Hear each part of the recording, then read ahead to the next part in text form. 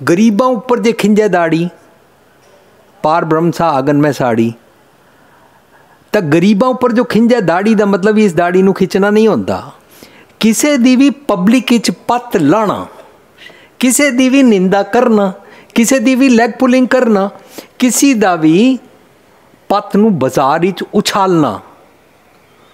ਗਰੀਬਾਂ ਉੱਪਰ ਜੇ ਖਿੰਜੈ ਦਾੜੀ।